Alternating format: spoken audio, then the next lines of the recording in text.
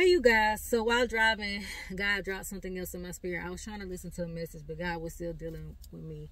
Um, and He was telling me pretty much about um, what is a blessing to God's children, the gifts and anointings um, that He have gifted His children is a curse to someone else right? And then god began to like download all these different like examples to me in the bible about curses about how people curse themselves whenever they go and try to steal something that don't belong to them all right? Um, this ties into the previous message where God was talking about how was dealing with me about how the enemy is trying was trying to um steal people, steal his children gifts and anointings and stuff like that during this time, during rituals, during doing spell work and wherever they do. And God reminded me of the story in the Bible about the Ark of the Covenant, right? Um, during war, the Philistines stole the Ark of the Covenant from the Israelites. And every time or every place they had took that Ark of the Covenant, the place was cursed. All right, because God, the Ark of the Covenant was ordained for the Israelites. It was not ordained for the Philistines. So they stole something that didn't belong to them. Right? So everywhere the Philistines took the Ark of the Covenant, that place was cursed. They the people began to die, they began to get sick, um, plagues and all that good stuff because they had something that didn't belong to them. They stole something that wasn't theirs. And it ties into the, like, the last video plot twist.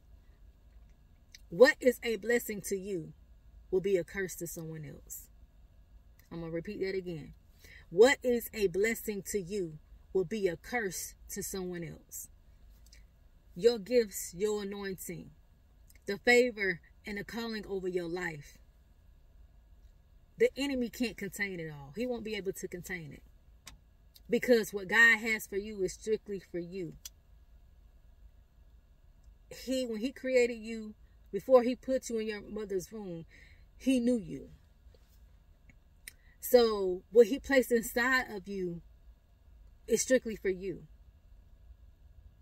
Because he know you can handle it what God has gifted you, the enemy can't handle. The enemy is not going to be able to contain. What was a blessing to you is a curse to the enemy. All right, and that story is pretty much in the book of Samuel. Um, First Samuel chapters 4 through 8. Okay, the Philistines the deleted, defeated the Israelites in the war and took the Ark of the Covenant of God. After being tormented by various plagues, the Philistines returned the Ark.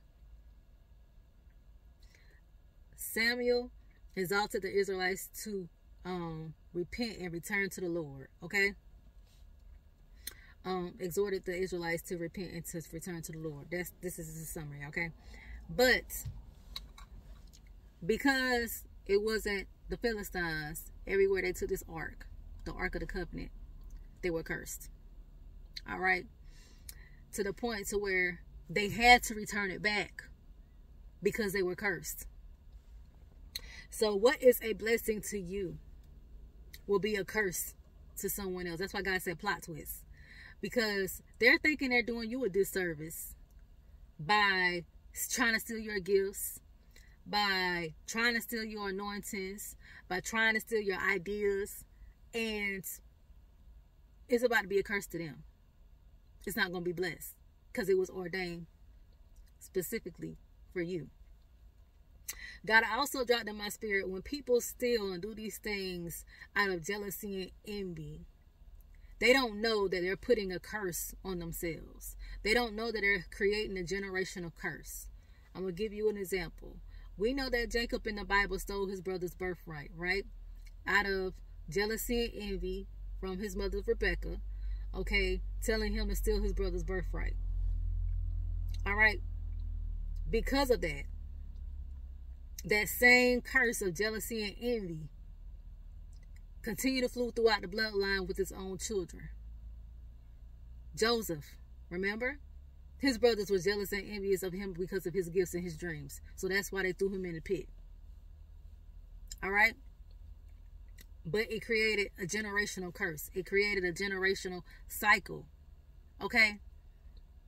And that's why Joseph had to go through. But the curse, it ended with Joseph. But that's why Joseph had to go through some of the things that he went through because of the generational curse that through, through that that flowed throughout his family, which was jealousy and envy that started from his father. All right, and even though Jacob stole the birthright from his brother, his brother still went on to be blessed. His brother still went on to have a prosperous life. So did Jacob. But Jacob had to live with that generational curse of jealousy and envy.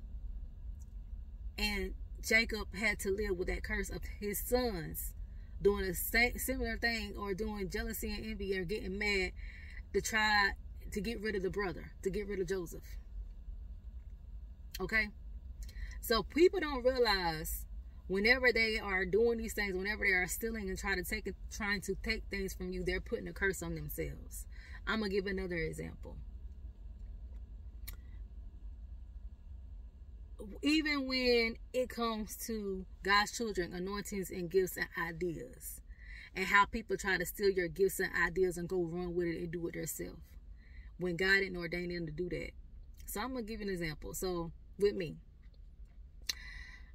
I had several ideas that God placed within me to do as far as business, right?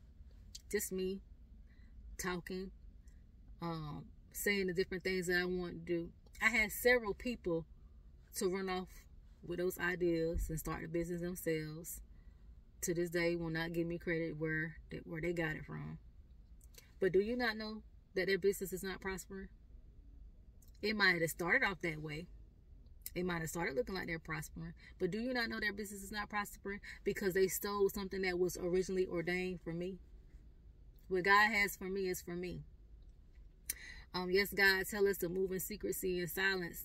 But when God strictly tells you to do it, that means you are, have been anointed and you have been ordained for it. And so when these people try to go run off and steal it, it might prosper for a little while. But after a while, what they thought was blessed is going to be a curse to them because they stole something that wasn't ordained for them. Just like with the Ark of the Covenant where the Philistines stole the Ark of the Covenant from the Israelites. So God is saying again in this hour for his children, what is a what is a blessing to you is a curse to your enemies. And that's deep. What is a blessing for you is a curse to your enemies. Your blessings is a curse to the enemy when he tries to steal it when he tries to attack it. All right. So just wanting to come and drop and drop this word that God had gave me in my spirit. Y'all just stay prayed up, stay fast up.